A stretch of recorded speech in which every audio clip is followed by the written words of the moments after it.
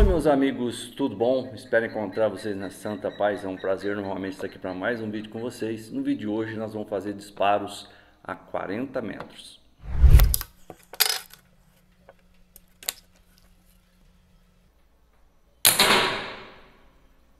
Alvo a 20 metros. Esse alvo aqui é 10 metros.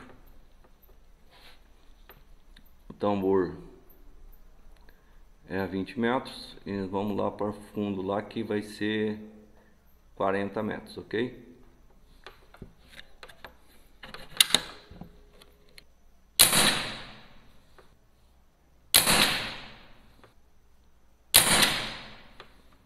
Pessoal, eu não consigo ver o, o que o zone lá, tá? Vamos tentar acertar.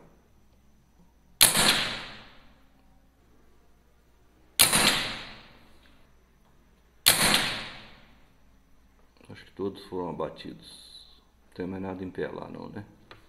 Vamos continuar o agrupamento aqui a 20 metros.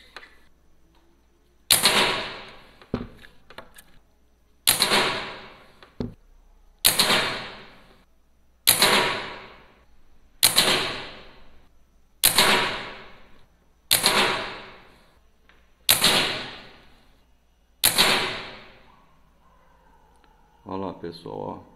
Quantos disparos foram dados lá, ó, tá vendo? É isso aí.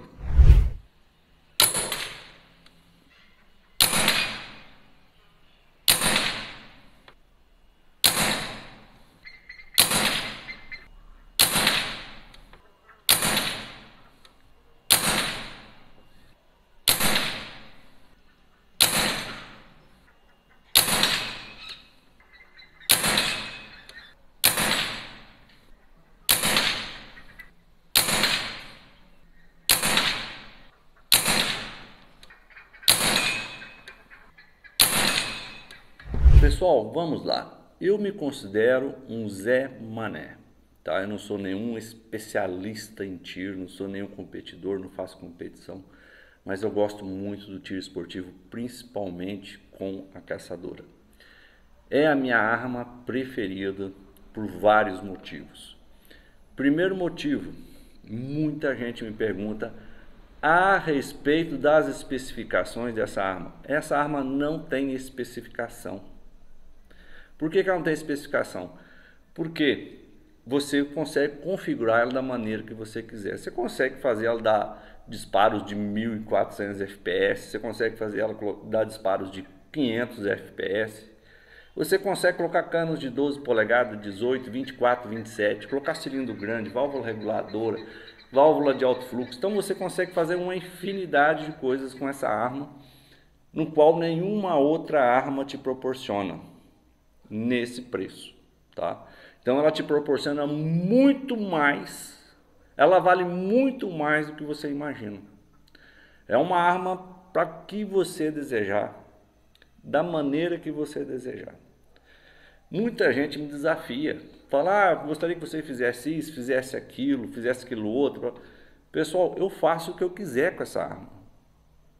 Se eu quiser fazer disparos de precisão, eu faço. Se eu quiser fazer disparos de abate, eu faço. Porque ela arma me permite fazer isso. Ela tem muito recurso para que eu possa fazer isso. Nesse específico aqui, ela está com um cano de 216, tá? que é cano normal, ok? De 24 polegadas. Está com um cilindro aqui nacional, que dá mais de 30 tiros. A válvula regulada está com saída de 100 bar. Está com gatilho polido, está com martelo polido. Tá para fazer tiros de abates a longa distância, por exemplo, que nem pombas, tá? Então, ela resolve. Você tem arma para tirar a longa distância, sim, porque ela está projetada para isso, está configurada para isso. Mas se eu quiser, por exemplo, fazer um abate de selva e querer, querer colocar muita força nela, eu coloco. Tá? Eu faço o que eu quiser. Se eu quiser tirar esse cilindro, colocar um, um de alto fluxo aqui, dar pressão na mola aqui, colocar no segundo estágio, vou fazer meus abates tranquilamente. Ah, mas aí você vai fazer abates de 10, 20 metros? Sim, 10, 20 metros, porque eu não vou dar tiro com uma arma dessa aqui, por exemplo, no javali a 40 metros. Eu não vou fazer isso, tá? Mesmo sabendo que ela tem muita força. Eu sou daquela pessoa que se eu puder encostar a arma na cabeça do animal, eu faço, tá? Eu não vou dar um disparo de 40 metros no javali. Nunca. Nunca vou fazer um troço. Vocês nunca vão me ver fazer um negócio desse, tá? Ah, por que então, Cleber, você faz disparos de 10 e 20 metros? Porque é o que mais vocês utilizam essa arma, tá? Ah, você está usando o JSB, por isso que a arma está respondendo bem a essa distância de 40 metros. Sim, todo atirador tem que saber avaliar como a arma se comporta e o chumbo também se comporta. Não é só a arma que faz, o chumbo também faz a diferença. E o que faz mais diferença, pessoal, é o atirador. Não adianta você ter uma arma espetacular, não adianta você ter um chumbo espetacular e ser um atirador de meia tigela. Ah, mas eu não quero ser um atirador de meia tigela. Então pratique, pratique e pratique. Eu sou uma pessoa que atiro muito. Meu índice de acerto não é maravilhoso, meu índice de acerto é acima de 75%. A cada 10 tiros, geralmente eu erro 3 ou 2, 3 ou 2. Por que, que eu erro pouco desse jeito? Estou acostumado a atirar com as armas, estou acostumado a atirar com chumbo, sei selecionar chumbo, sei selecionar cano, sei selecionar arma, qual é a configuração. Hoje eu estou atirando com JSB de 14 grains. Muita gente me pergunta se essa arma atira chumbo leve. Atira muito bem chumbo leve. Basta você configurar a arma para tirar chumbo leve. Tá? Ah, mas eu quero tirar chumbo pesado. Configure a arma para tirar chumbo pesado. Você consegue fazer isso com ela, ela te permite isso. Vou contar um segredo para vocês. Eu atiro desde moleque. Tenho 45 anos. Há quanto tempo que eu não atiro? Né? E vou falar outra coisa. Na minha época, acabava o chumbinho, às vezes a gente não tinha dinheiro para comprar uma latinha de chumbinho daquele mais baratinho. Você sabe qual era a nossa munição? Vocês sabiam qual era a nossa munição? Meu irmão é prova disso. Nós fazíamos munição com prego. Prego. Ah, estragava raia. Naquela época essas armas nem tinha raia. Carabina de mola nessa época não tinha nem raiamento, para ser bem para vocês. Nós pegávamos, meu pai é carpinteiro, um excelente carpinteiro, tá? Nós pegávamos pregos que tinha demais da conta. A gente cortava a cabeça do prego, remachava com o martelo até entrar no cano para caçar rato. Quantos ratos a gente não atirou e o rato não ficou pregado lá no, no caibro ou na vigota? Quantos não aconteceu isso? Pomba, pomba, vou falar uma coisa para vocês. Nós saía, acabava a munição, nós não tinha munição para tirar em pomba, a gente pegava semente de soja.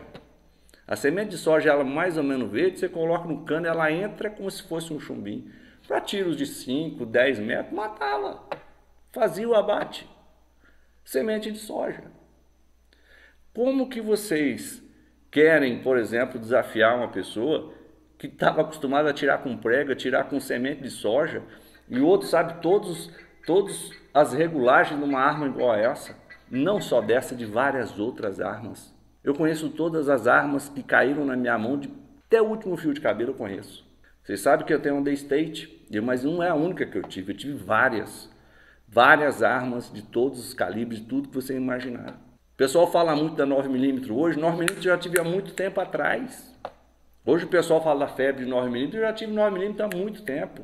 635 há muito tempo atrás. Então o que, que eu quero dizer? Você tem que conhecer a sua arma, tem que conhecer o seu equipamento, tem que conhecer o que ela usa e também tem que praticar, tá? Tem que praticar. Se você não praticar, você não consegue um alto desempenho. Ah, mas você precisa ser o número um, number one? Não, pessoal, você não precisa ser o number one, não. Não precisa ser o número um, não. Você tem que estar acima da média. O que é acima da média? Acima de 70%. Ou seja, cada 10 disparos você acertar 7. Você tem que praticar. Não é fácil. Tem que atirar, tem que acostumar com a arma, tem que tirar acostumar com todo o seu equipamento. Essa é a grande realidade. Principalmente uma arma igual a caçadora que te permite vários recursos. Essa arma, por exemplo, ela está aqui no 5.5. Se eu quiser passar ela para 9mm, eu passo ela em menos de um minuto. Então você tem que conhecer esse equipamento, saber o que, que você pode esperar dele e praticar. Muito, não é pouco não, gastar muito chumbo.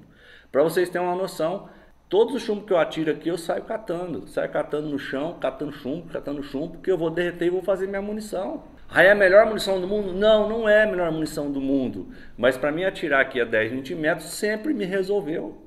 Para mim fazer teste de cronografagem, para mim fazer outros testes aqui, Eu sempre fiz a minha munição. Como que você vai desafiar uma pessoa que está acostumada a fazer isso? A chance de você perder para uma pessoa dessa, dessa maneira é muito grande. Não estou dizendo que eu sou o melhor, de jeito nenhum. Estou dizendo que eu sempre tento fazer o meu melhor e se eu ficar acima da média, que é de 70%, está aprovado.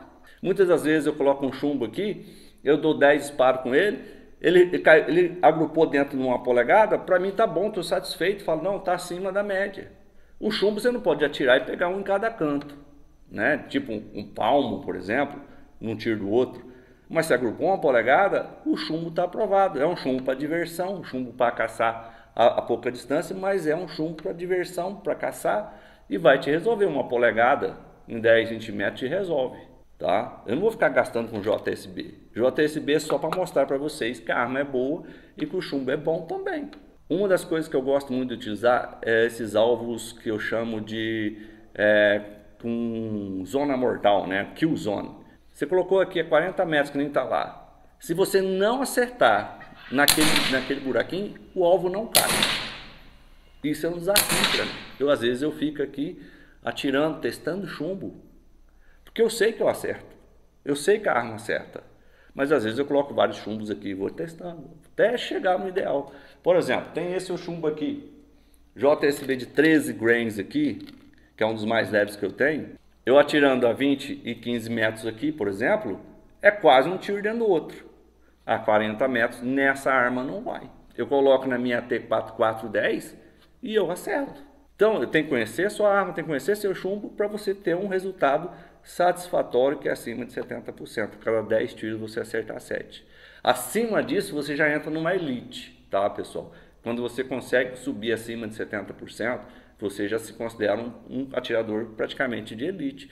Porque acertar a 40 metros, por exemplo, abaixo de uma polegada ou uma moeda, rapaz, não é para qualquer um não, não é, tá? Apesar que estou atirando apoiado aqui, mas numa caça, por exemplo, representa de você levar o abate embora ou não.